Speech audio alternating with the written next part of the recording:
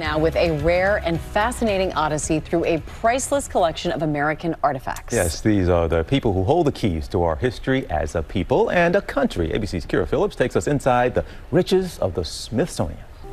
Let us use history to inspire us to push a country forward, to help us believe that all things are possible. From his prestigious perch within the storied Smithsonian Castle, you're listening to a promise Dr. Lonnie Bunch made to himself at the age of 10. When you were a little boy and you wanted to visit museums, your dad would only drop you off in front of the Smithsonian. Why?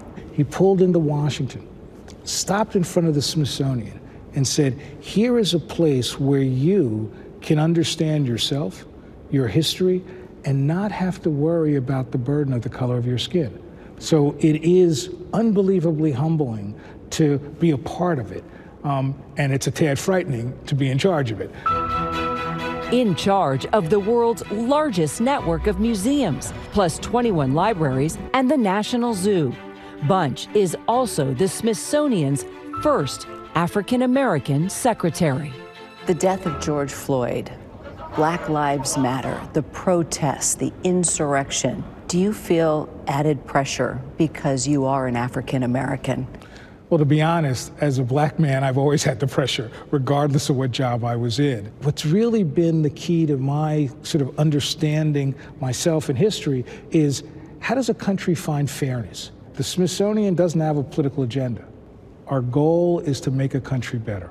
And to find hope through history. Welcome to the bowels of the basement in the National Museum of American History. For the first time, you're getting an exclusive look at how our past year of a pandemic and racial reckoning will be remembered here in the Smithsonian forever. That's the very first Pfizer vaccine. The first Pfizer vaccine given in the United States. This is an unprecedented sneak peek into history preserved, not just for us, but also this museum's first female director, Dr. Anthea Hartig. We have to collect to remember.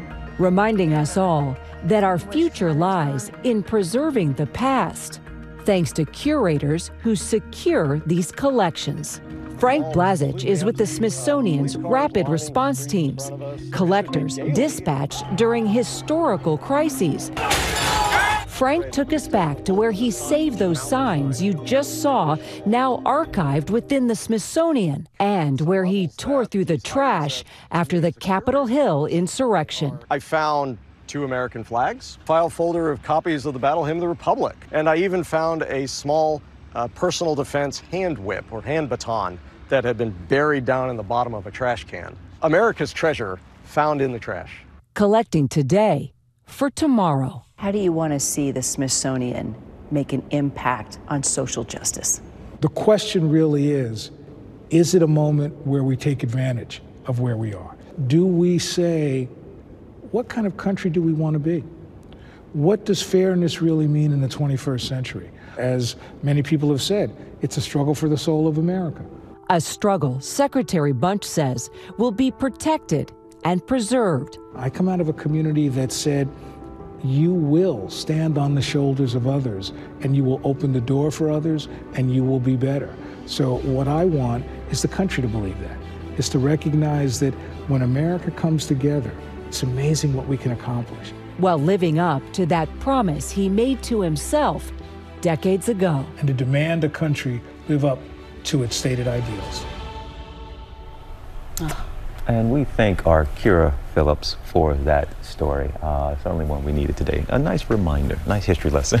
Yeah, exactly. and it, it's so wonderful to have someone like that leading the way in preserving our history. All right, so thanks again, Kyra. Well, hey there, GMA fans. Robin Roberts here. Thanks for checking out our YouTube channel. Lots of great stuff here. So go on, click the subscribe button right over, right over here to get more of awesome videos and content from GMA every day, anytime. We thank you for watching, and we'll see you in the morning on GMA.